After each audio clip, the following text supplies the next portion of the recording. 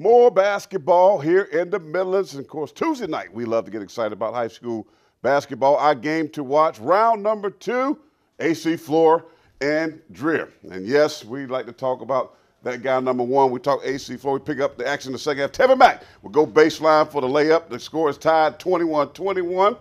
And AC Flora is going to come right back with Kendall Hampton will miss the shot. But Rion Davis gets the putback and the two points.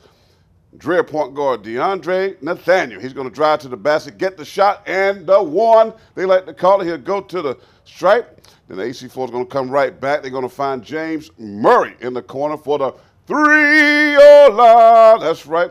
And that, that game is tied 36 36. Then late in the fourth, Dreher up by one. AC Flora's Kendall Hampton. He'll will drive the basket, miss the shot, but there that man again, Rion Davis, puts the ball back for the two. Gonna miss the free throw. Tevin Mack. Here's going to get very interesting. 10 seconds left. Davis will make the uh, first one miss it, come down, and we're going to see what happens here. Tevin Mack, you know he's going to get the ball right. You know he's watching that clock. He's going to miss right there. Gets the ball back, throws it inside. Ball goes up. Basket's good. Layup's good. Dreher wins this ball game 52 to 50. My number one team goes down. But I got some things to say about that later on in the week. Hammond and Augusta Christian. Of course, this young man, star point guard, Seven Woods, beat his man out the dribble for a nice float in the lane for two. The next time down, of course, Woods going to have the ball a lot. He's going to get in the paint again for another deuce. He'll have 28 points on the night. Augusta Christian tries to make it interesting with a dunk, slam, or slam, but uh, it will not be enough. Hammond going to beat Augusta Christian 55 to 43. Over to Whipple Court. Let's take a trip over to Irmo. There's that man right there, Mr. Mr. Court himself. Kind of like Coach K. I won't call the other name.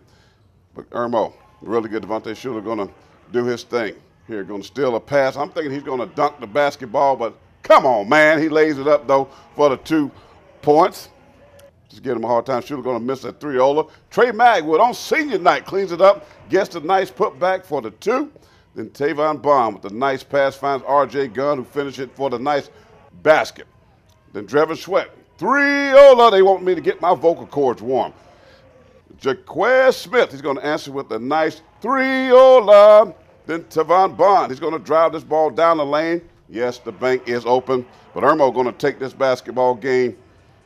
Let's see, 74 to 63. That is the final. Baseball, you heard Henry talking about the weather being chilly and cold and – all that good stuff. They're going to take on the College of Charleston. A three-game series in the weekend is going to be nice. We talked to Ray Tanner about some baseball. He's excited about that. But Wil Crowe, the right-handed pitcher, the sophomore, is on a list of 50 guys for the Golden Spikes Award watch list. They announced that by USA Baseball on today. And Michael Roth will throw out the first pitch on Friday as well. That game's at 4 o'clock.